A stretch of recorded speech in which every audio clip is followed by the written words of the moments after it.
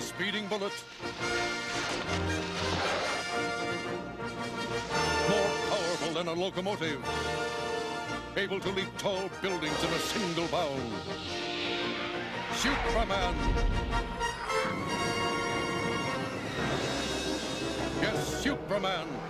Strange visitor from another planet who came to Earth with powers and abilities far beyond those of mortal